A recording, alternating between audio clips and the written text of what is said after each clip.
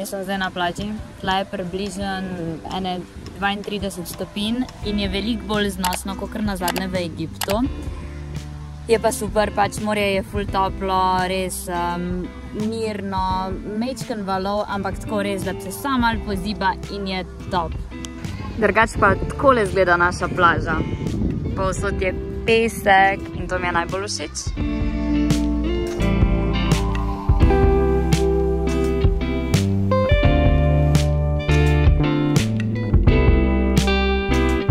No, tale papiga je pa atrakcija hotela.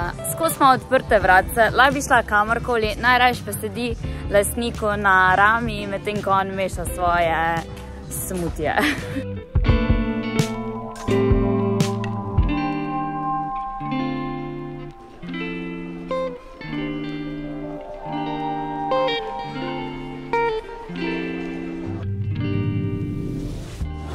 Tako si so dobri, imam pa eno pripombo ta koruzna tortilja, ali kako že to je, je bila ful trda. Ponavadi so mehkejše, tako da ne vem. Končna ocena mi je 8 od 10. Uh, zdaj pa gremo po sladico. Tole je baklava. Turška tradicionalna sladica. Je zelo sladka in noter je pilana z pistacijo. Je pa baklava tudi predhodnik štrudla. Uh, so je pa v bistvu v 16. stoletju nam v naš svet prinesli ravno Turke. Ok, zdaj pa testa.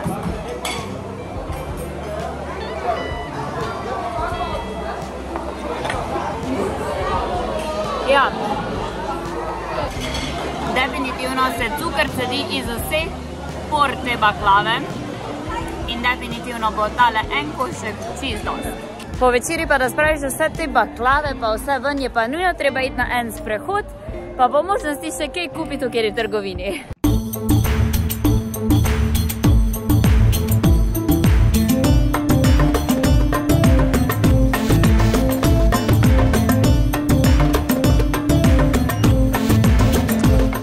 Me pa zelo mika, da bi si šla delati ene kitke. Sam zdaj ne vem, kjero barvo podaljškov bi si dala. Dej zapiši komentar, kaj ti misliš, kjero barvo podaljškov bi mi najbolj pasala. Moram pa pohvaliti hotel, zato ker tle imajo ful lepo mačke.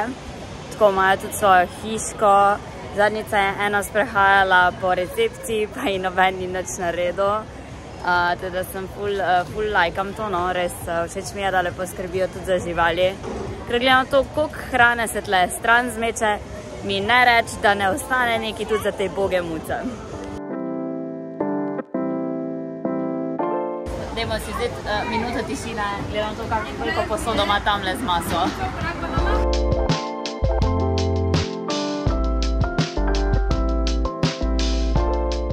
Zajtrk to go imamo, zdaj gremo pa na Italia Island. Evo, tle vam pa lahko pokažem, kako v bistvu sploh zgleda. Tukaj za cesto je naš hotel, pol pa se v bistvu tle greš pod tem podhodom in se pol v bistvu združi vse na tak Italia Island se reče in bomo šle spet tobogane, bazene, plažo, uh, teater zvečer, v glavnem čisa. Ojoj, ko sem jaz dobila na pistačo. Tale pa je na 3XL kobilce, no ne vem, jaz je takega pri nas še nisem videla. Čas je, da gremo jest. Uh, mi hodimo kar na to spodno restauracijo, oziroma bar, pač res ni velike izbire. Ampak okay. ne da se nam hodi do gor, ko se je veš, pol te kopalke, mokre, pa vse skupaj. Tako da je dobra opcija.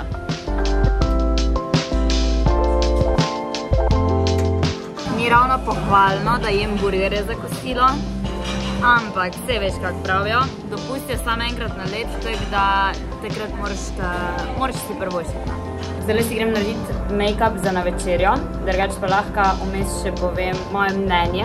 Mi smo leteli iz Gradca, ker je pač tak let bil najcenejši. Iz letališča smo pa bolj še rabili približno dve urci pa pol do hotela. Overall pot je trajala tam nek, v bistvu skor 12 ur, zato ker až nimaš prej prijeti na letališče. Kar se tiče pa samega hotela, je bil zgrajen tako 2018 in je zelo lep, ampak vidi se pač je hotel 5 zvezdic, ampak se vidi, da proti ostalim 5 zvezdičnim hotelom ima dost manj hrane na razpolago oziroma na izbiro.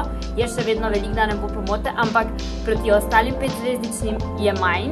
Velikrat se je zgodilo no, spoh pri zajtrku, da naprimer si prišel malo kasneje ali pa kakorkoli in ne vem, so bila jajca umešana, mrzla, pač ni se to samo meni zgodilo, tudi ostalim se je. Pa še en velik minus, žgano pijačo lahko dobiš samo pri hotelu, pri plaži je sploh ne moreš dobiti več, no ker ravno tam je pač tiskač pa vse skupaj. Tam ti naprimer šot neke žganice zaračunajo 7 evrov. A ja, pa koktejli tudi niso vključeni v all inclusive, vse je na doplačilo. No, v glavnem, to je bila tista prva informacija, ki je mene ful šokirala ker sem bila zihar, da bo to vključen, tako je v vseh ostalih hotelih. Tako da overall moja ocena je še, je še vse 8 od 10, ampak če imate radi res velike zbire hrane in pa pijače, vam mogoče tega hotela ne priporočam. Če pa uživate v lepem hotelu, pa v lepi peščeni plaži, je pa definitivno prava izbira za vas.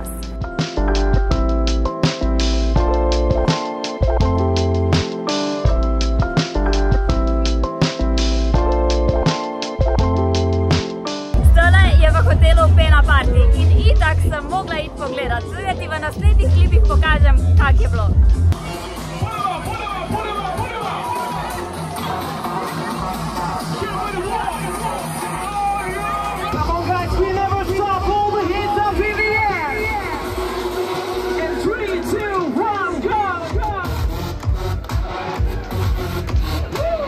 Enač pravi, da je vsega lepega enkrat konc, no tudi tega dopusta je zdaj konc. Čez 20 minut imamo transfer, da gremo na letališče.